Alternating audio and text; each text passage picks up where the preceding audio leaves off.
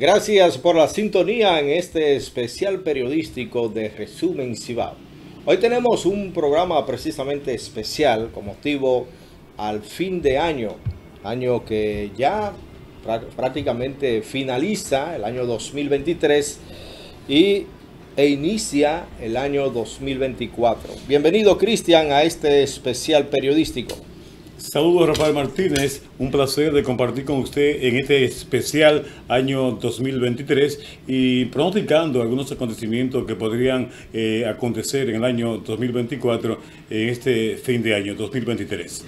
Bien, hoy vamos a analizar eh, las informaciones, los hechos que fueron noticias durante el año 2023 en materia social, económica y política no solamente de la zona del Cibao, sino eh, hacer un, análisis y un recuento informativo de los sucesos que ocurrieron durante el año 2023 en toda la geografía de la República Dominicana. Entonces, comenzando Cristian en materia informativa de los sucesos más importantes que estuvieron ocurriendo en, el, en la zona del Cibao. Y creo que uno de los acontecimientos que mantuvo al vilo a la opinión pública nacional fue el cierre de la frontera eh, dispuesta por el presidente de la República, Luis Abinader, luego de que un grupo de empresarios haitianos comenzaran a construir un canal que desvía el río Dajabón o río Masacre y esto provocó que el presidente de la República, Luis Abinader, enviara un amplio contingente militar a la frontera norte y dispuso el cierre de la frontera por tierra y por aire. Esto provocó un sinnúmero de dificultades entre los sectores productivos de la República Dominicana.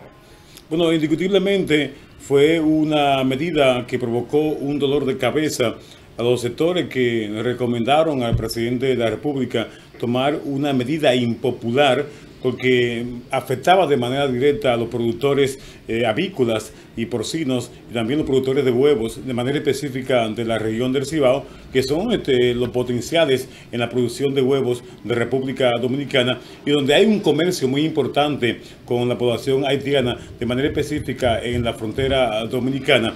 Este acontecimiento eh, llevó o comprometió al presidente de la República, Luis Abinader, de subsidiar a los productores de huevos con 100 millones de pesos. El INEPRE también se comprometió a comprarle una gran cantidad de huevos a los productores del Cibao por ese tipo de promesas no fueron cumplidas, a tal punto que el presidente de la República, en uno de sus recorridos de promoción de los candidatos municipales de ese partido político y de rescate RD, planteó o definió al gobierno de Luis Abinader como un gobierno tramposo e irresponsable por no haberle pagado ese compromiso a los productores de huevos de la región del Cibao, unos 100 millones de pesos. ¿Qué provocó esto? Que Luis Abinader, con el gabinete del Ministerio de Agricultura, se aproximó a la región del Cibao en la ciudad de Moca y hizo una reunión de suma importancia con los productores para asumir ese compromiso de deuda con el sector productivo de la vida nacional. Esta disposición del presidente de la República, que al principio se veía como un acto patriótico y que la República Dominicana eh, definió su política migratoria con relación al vecino país de Haití, provocó una serie de, debates ah, en, términos políticos, económicos y sociales y eh, el presidente decidió eh, reaperturar de nuevo la frontera dominico-haitiana, pero con algunas medidas restrictivas. Esto provocó que entonces que el gobierno o algún sector del gobierno haitiano cerraran ellos la frontera lo que permaneció la puerta fronteriza, específicamente por la, frontera norte en Dajabón, por un espacio casi de, dos, de tres meses. Esto interrumpió de manera abrupta el, intercambio comercial que tradicionalmente eh, se realiza en el mercado binacional entre Haití y República Dominicana. Miles y miles de millones de pesos perdieron los productores con esa disposición del presidente de la República.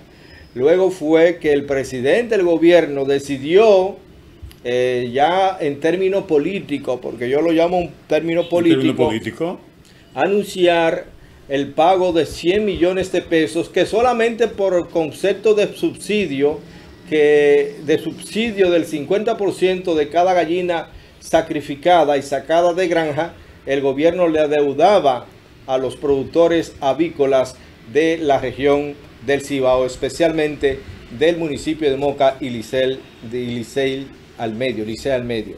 Bueno, Martínez, otro tema de mucha importancia, un hecho que llamó la atención y creó este mucha generó mucha opinión pública en la vida nacional e internacional fue este eh, la crecida improvisada de la tragedia la tragedia la crecida que provocó una tragedia eh, algo que un caso que creó mucha conmoción parecido al caso de la explosión del polvorín de San Cristóbal que generó muchas informaciones mucho dolor mucha tristeza en la República Dominicana en ese hecho murieron al, menos seis personas eh, residentes en San Francisco de Macorís y Santo Domingo. Eh, fue que una familia, un grupo de, de miembros de familias se dirigieron al río Fula y repentinamente hizo crecida ese río y provocó esta tragedia que puso y que llenó de luto a muchas familias del pueblo dominicano. Esto fue un acontecimiento que marcó de los hechos más importantes de, ocurrido durante el año 2023. Bueno, también Martínez, que como estamos dando un toque variado, estratificado a los acontecimientos de República Dominicana durante este año 2023, eh, hay que tocar eh, la problemática de la delincuencia en todo el país. Eh, nosotros queríamos referirnos solamente en la región del Cibao, pero esto llamó la atención, la preocupación del presidente de la República a tal punto que se reúne todos los lunes con el ministro de Interior y Policía para trazar pauta con lo relacionado a disminuir la cantidad de violencia que ha provocado el aumento de la inseguridad ciudadana en la República Dominicana. Este hecho eh, permanece eh, porque debe ser este, una, un método constante, no solamente de este gobierno, de crear esta metodología de trabajo, de buscar la forma de que se incluyan en la mesa de seguridad ciudadana a los protagonistas de los barrios, a los modelos de los barrios, para crear las condiciones de eh, vivir en convivencia en nuestro país, porque el gobierno tiene un gran compromiso con el pueblo dominicano relacionado con niveles de adquisición, con niveles de calidad de vida que deben tener los dominicanos. Y este factor es muy importante porque contribuye a disminuir la delincuencia en todo el territorio nacional. La delincuencia fue noticia durante el año 2023. Distintos acontecimientos marcaron, eh, registrado en Santiago, San Francisco de Macorís, Moca, La Vega y otras poblaciones del Cibao. Mm, asaltos, asesinatos, el incremento de los puntos de drogas, enfrentamientos a tiros entre microtraficantes, el asesinato de microtraficantes como fue el caso de Chiro La Para en Moca, entre otros, así como también los allanamientos que ejecutó la Procuraduría General de la República en coordinación con, el, con, con la Fiscalía de Santiago, la Dirección Nacional de Control de Drogas, en busca de los presuntos narcotraficantes conocidos como la J, Nino Comemecla, entre otros.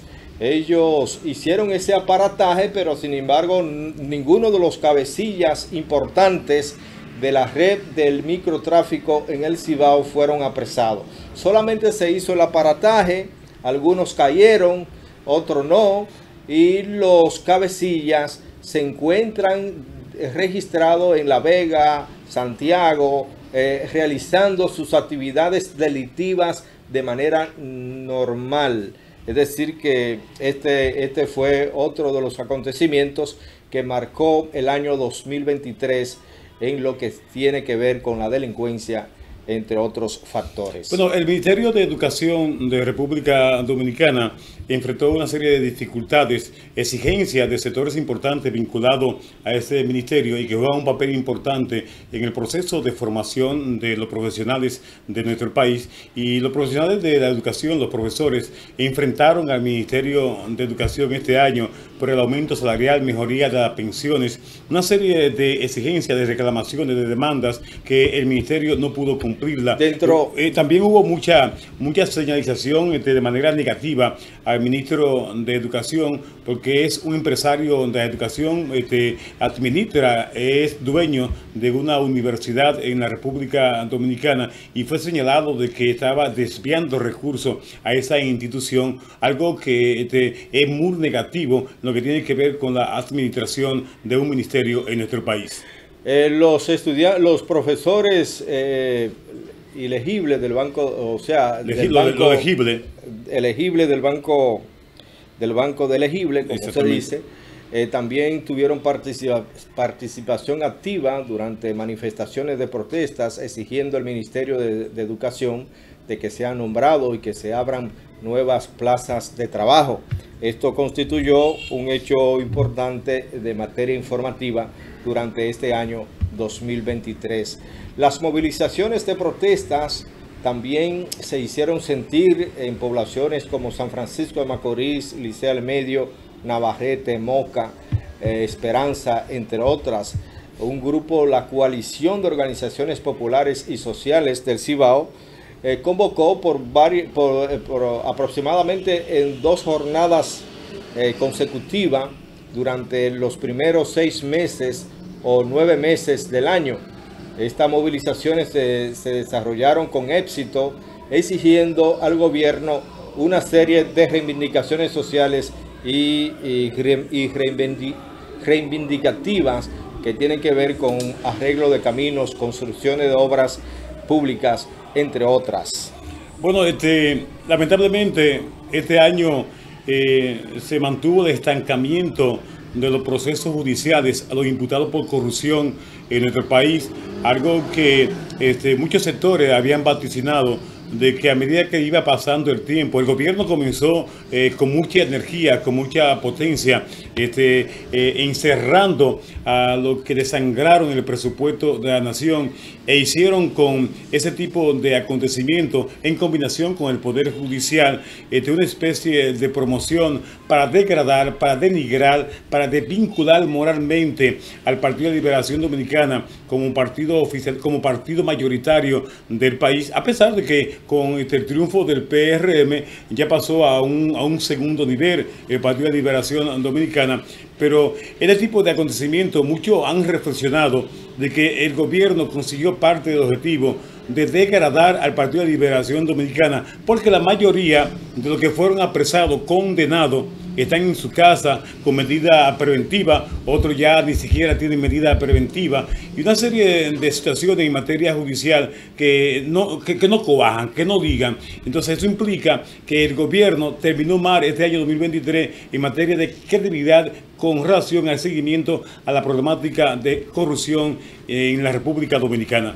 Cuando regresemos del próximo bloque de informaciones, concerniente al análisis y perspectiva del año análisis del año 2023 y perspectiva del año 2024. Tenemos, vamos a analizar el transfugismo que, que eh, tuvo fuerza durante el año 2023, la cantidad de directores, alcaldes, diputados que se pasaron, que emigraron hacia el partido en el poder.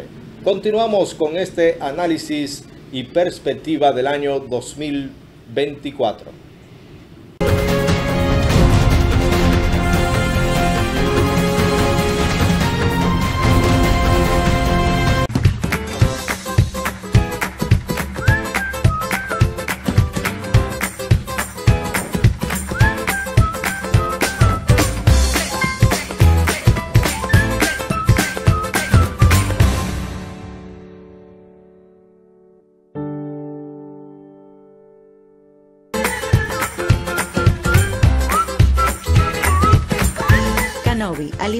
amor de tu mascota.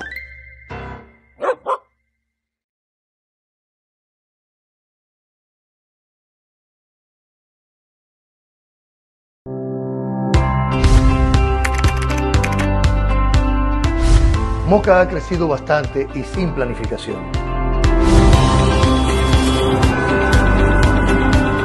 En nuestra gestión municipal, a partir de febrero, nos proponemos construir dos funerarias municipales, una en la parte alta y otra en la parte baja de la ciudad. Es que la actual, en el centro de la ciudad, no cuenta con parqueos y ahora una segunda planta forzada. No hay planificación. Nuevos circuitos de funerarias. Esas son propuestas que transforman. Eso es lo que queremos. En febrero inicia la transformación de Moca. Acompáñanos.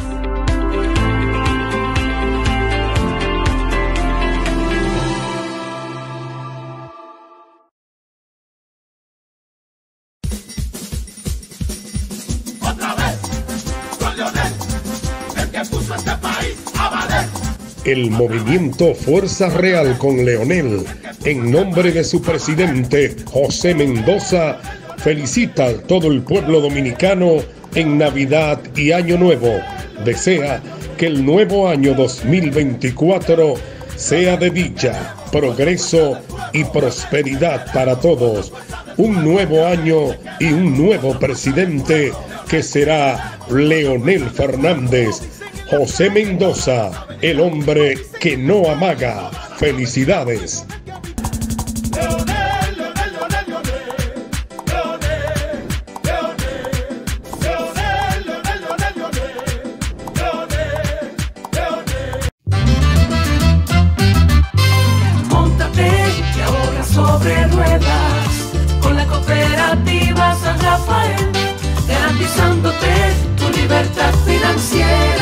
Es fácil de participar. Al abrir tu cuenta de ahorros, tener tus préstamos al día o tu dinero a plazo fijo y aportaciones, recibes tus boletos para la gran rifa de un carro Kia Picanto 2023 0 kilómetro, un televisor plasma de 55 pulgadas y un motor CG 150 marca Tauro. Mañana más brillante comienza hoy. Acércate a nuestras oficinas y conoce más de esta fascinante forma de ahorrar y ganar o llámanos al 809-587-8080. Cooperativa San Rafael, tus aliados. Algunas restricciones aplican. Por más de 20 años, hemos podido satisfacer las necesidades de nuestros clientes con productos y servicios agrícolas altamente eficaces. Nuestra mayor inspiración es aumentar los objetivos de crecimiento de nuestros consumidores en cuanto a mayor producción o calidad, conociendo sus necesidades y así brindarles los servicios, educación y concientización para producir más y mejor y ser en todo momento su primera opción. Horizonte Agrícola, orientando y educando al productor dominicano.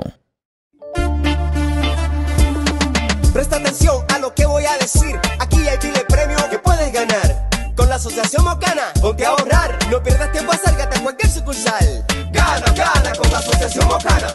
Gana, gana con Asociación Mocana. Ahorra y participa en la rifa de un millón de pesos para tres ganadores, 200 mil, 300 mil y 500 mil pesos. También podrás ganar dos televisores Smart de 75 pulgadas, dos motores Tauro Turbo y dos iPhone 14 Pro.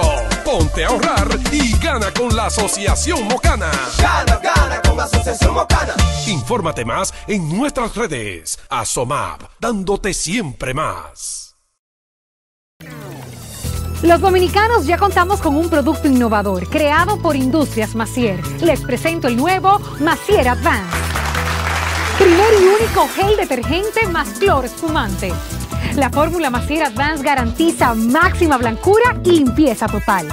Además, quita manchas, es desgrasante y antibacterial.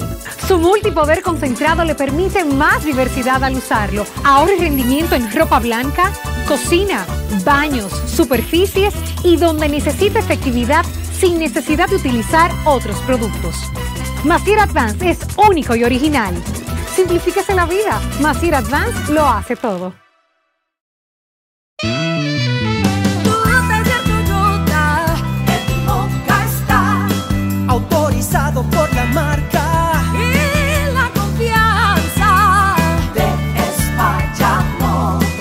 Expertos esperan por ti para darle a tu vehículo el mantenimiento y servicio de mecánica correcto que garantiza Toyota a sus clientes con piezas originales de la marca.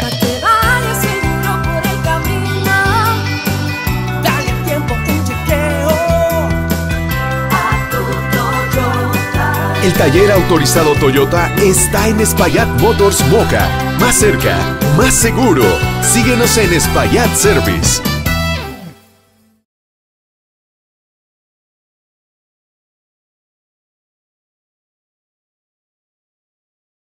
Bien, continuamos con el desarrollo de este análisis del año 2023 y perspectiva del año 2024. Pero antes de entrar en materia, vamos a presentar un reportaje sobre un suceso que ocurrió en el municipio de Moca, donde un señor que fue apresado por la policía fue primero denunciado que presuntamente estaba eh, abusando sexualmente de su madre de 75 años y denunciado por un vecino, este hombre ante esa denuncia fue llevado a la policía en calidad de detenido. El, fiscal de manera irresponsable, sin investigar, emitió una orden de arresto y, y, el hombre fue llevado al destacamento policial del municipio de Moca. Eh, lo lo colocaron, lo, lo, metieron en una cerda junto con todos los presos. Los presos abusaron de este infeliz y le introdujeron un, palo por su parte y de eso el hombre falleció. Pero ¿qué ocurre? Que luego se hace el análisis a la señora, el médico legista le, eh, eh, le hace un análisis a la señora y la señora resulta que no fue abusada, nada. Entonces este hombre era inocente. Qué incapaz, qué incapaz son los fiscales del municipio de Moca. Qué falta de profesionalismo, tanto de la policía como de la fiscalía del municipio de Moca. Eso llora ante la presencia de Dios. Un hombre inocente lo introducen entre delincuentes entonces, en el destacamento policial los delincuentes custodian a los delincuentes. Es decir, que los agentes policiales, que también se dice que actuaron, agentes de la Policía Nacional, que son delincuentes, cuidan a delincuentes. Los delincuentes cuidan a los delincuentes. Y entonces, el presidente de la República, en medio de una reforma policial, que la anuncia con bombo y platillo, en vez de reformarlo, están reformando a la Policía Nacional. Porque cada día están peor, peor. Un cuerpo policial corrupto, delincuentes, muy delincuentes, más delincuentes de lo que ellos mismos persiguen. Entonces, ¿cómo es posible que a un ciudadano que la fiscalía lo, le emite una orden de prisión sin investigar si es inocente o, culpable, entonces miren la consecuencia. Ahí está la consecuencia. Ahí está la consecuencia. Ministerio Público y Policía Nacional. Un hombre muerto inocentemente. Entonces, así no, así no. Vamos a ver el video, el reportaje que hice para Antena 7.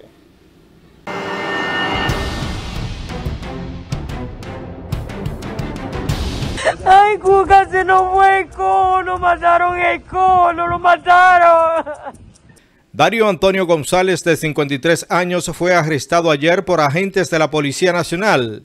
Era acusado de abuso sexual contra su propia madre, una anciana de 75 años, residentes en el sector Jarro Sucio de Moca. Pero durante el transcurso de la noche fue golpeado salvajemente en el interior de la celda del destacamento policial de Moca. Murió cuando era intervenido quirúrgicamente en el hospital Toribio Bencosme. Esta fue la certificación que nos entregó el Ministerio Público de Violencia de Género delante de su hija para llevarlo al médico.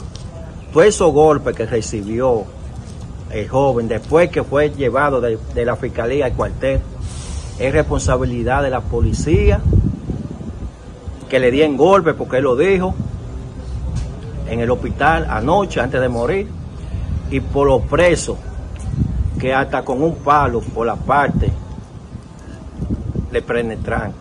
Según familiares, el hombre recibió una golpiza de parte de presos y de agentes de la Policía Nacional. Yo que pido justicia, que se haga justicia, porque esta parte de morirse me dijo todo. Me dijo que los policías le habían dado muchos golpes y los policías habían mandado a, los presos a que le penetraran un palo por su parte. Yo lo que quiero es justicia, porque eso no se puede quedar impune. El proceso de investigación está en manos de la Procuraduría General de la República. Sí, el Ministerio Público lleva una investigación donde el señor Darío estaba siendo sometido por violencia de género, violencia intrafamiliar, por haberle atribuido el tipo penal de violación hacia su madre.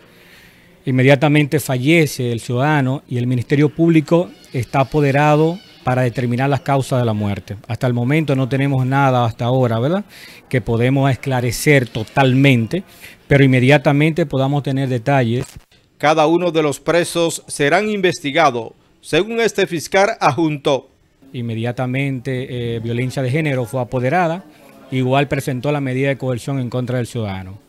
Pero todo lo que circula, todo lo que se especula, será determinado a través de una investigación mientras que el dirigente popular Juan Comprés tiene otra versión de lo que pudo ocurrir en el interior de la cárcel del destacamento policial. Donde yo la grabé a la madre diciendo que él no le había puesto la mano. Y aquí está el, certificado de médico legista que niega la versión de que ella fue violada por su hijo. Nosotros lo que queremos es que el Ministerio Público, a Michael, que es un fiscal honesto, un fiscal trabajador, que investigue el caso y todo aquel culpable, que sea culpable, sea sometido a la justicia. En el barrio Jarro Sucio definen a Darío Antonio González como un hombre sano y condenan el abuso que se cometió contra él. Bueno, ah, según dicen que fueron los, presos que le hicieron eso. Sí. Y que estaba por su parte, le metieron palo y cosas.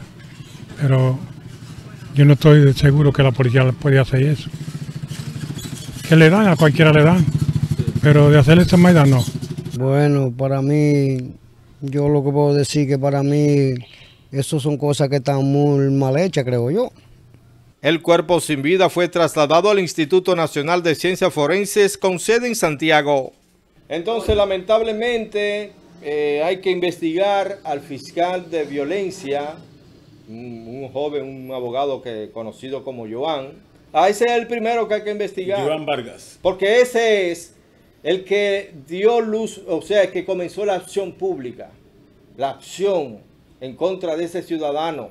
Usted tenía que investigar, Joan, si era culpable. Usted tenía que, primero, si estaba acusado por, por agredir sexualmente a su madre, lo primero que usted tenía que apoderar al médico legista para que le haga una eh, un examen a, la madre de ese señor. Y, no, y, dejarlo, si estaba detenido, incluso no podían detenerlo, porque por una simple sospecha, por una simple sospecha no se puede detener a ningún ciudadano si usted no tiene una orden de arresto, o si usted no ha cometido, o si usted no lo ha, lo ha apresado de manera infragante. No podían, eh, entonces lo agarran y lo meten con los presos para que los presos hagan lo que, lo que ellos quieran con él. Mira, e, e, este hecho eh, tiene muchísima eh, problemática, una especie de parte negra en ese hecho. Y hay que hacer una crónica de qué estaba pasando alrededor de la casa donde vivía ese joven, donde vivía la mamá. nosotros tuvimos la oportunidad de conversar con algunos vecinos y el rumor estaba en la comunidad. No, no había ningún rumor. El, rumor estaba en la comunidad. Yo quiero plantear, había un e, rumor, había un rumor falso, un rumor falso que la gente asumió porque él fue agredido antes de ser apresado eso dice, por, una, por, una, por una multitud. ¿Quién te dijo no a ti? en la, eso. En la comunidad nunca te dijeron a ti. En la comunidad nunca te dijeron a ti que fue agredido. el que dijo que fue agredido yo estoy narrando, fue el fiscal. Yo estoy narrando, este, eh, narrando algo ¿Eh? narrando algo. fiscal de la, pero para llegar, para llegar a una conclusión. No, no, no. la señora, la señora, al punto. La madre, la madre de, de, joven dice que él se dedicaba a bañarla, a cuidarla, Ajá. a protegerla y que él no tenía esa malicia de hacer eso. Entonces, fue apresado lamentablemente. La fiscalía tomó una mala decisión por un método errático que tiene la justicia dominicana de que una persona sospechosa ya es un preso preventivo y lo involucran en dos cerdas que hay en el cuartel en la comandancia de Moca que lo que hay son delincuentes. ¿Cómo que Entonces, se llama ¿Qué eh, pasa con esto? Juan? Michael Michael Tavera. Tavera. Michael, Michael Tavera. Pero déjame decirte, No, mira, yo- Michael Tavera. hacer mi análisis. No, pero que tú estás diciendo porque tú fuiste al lugar de los hechos. Claro, claro. ¿Y cuándo, Y estoy narrando lo que comunidad, cuándo, cuál ciudadano del lugar de los hechos dijo que ese joven, todo lo contrario, que ese era un muchacho trabajador, primero, que se dedicaba al motoconcho y que no usaba vicio? Entonces, Michael Tavera Pero en ningún momento yo de estoy- manera yo estoy- yo estoy irresponsable, ratificando ni de manera acusando- ni acusando al joven. De manera irresponsable, Michael Tavera, de manera irresponsable, y yo lo digo responsablemente porque fui yo que lo entrevisté. De manera irresponsable. Él dice que, que va a investigar conociendo él y viendo el video que está circulando en los medios, en, lo- en las redes sociales. Y que va a investigar.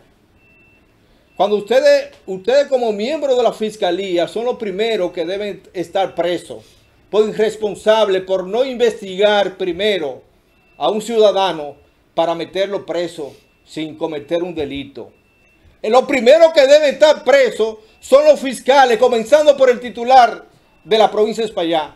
Porque ese es el responsable Por una, simple de denun- eso. por una simple denuncia, la fiscalía actúa e investiga. En este caso, en este caso, ese joven fue apresado porque se dio una denuncia. ¿Qué pasa? Que ese procedimiento crea mucha problemática. ¿Por qué? Porque los presos cuando se enteran de que una persona llegó al cuartel porque violó a alguien, a su mamá, a una hija, a una hermana, los Lo presos, primero que tienen los que presos investigar. reciben la información inmediatamente. Este fue el que violó a la fulana de tal y lo están mandando al matadero. ¿Qué tiene que hacer la policía? ¿Qué tiene que hacer la fiscalía? De a ese muchacho en el pasillo, en un lugar especial, para investigarlo, para determinar si el hecho es real. Porque ese muchacho eh, resultó en los últimos tiempos, en las últimas informaciones o investigaciones, que era inocente. Y entonces, Bueno, pues yo reitero que deben estar presos el, el titular, el fiscal titular de la provincia de España, Llorevi Rivas, el, dire- el, el fiscal adjunto de, de la ofici- de, de violencia de género debe estar preso y el mismo, eh, el hijo de, de Tavera, Tavera. deben estar presos primero. Esos son los primeros que tienen que estar presos Por irresponsable. por irresponsable y por no investigar un hecho. Porque no, yo como ciudadano, que me digan a mí que Cristian cometió un hecho y yo voy a la fiscalía, entonces agarran a Cristian sin investigar y lo meten preso. Y amanece preso y dura dos o tres días. Así no se actúa, así no se hace justicia, señores. Así no se act- Yo no soy abogado, yo lo que soy periodista, pero así no se hace justicia. Así no. No, no, jamás. hay que proteger la vida de los ciudadanos. Bueno, continuamos retornando, retomamos el tema sobre los hechos, porque a mí me altera esa situación, esa, esa, esa injusticia que se comete por falta de profesionalismo, por falta de profesionalismo, por no investigar. Vamos a pasar una pausa.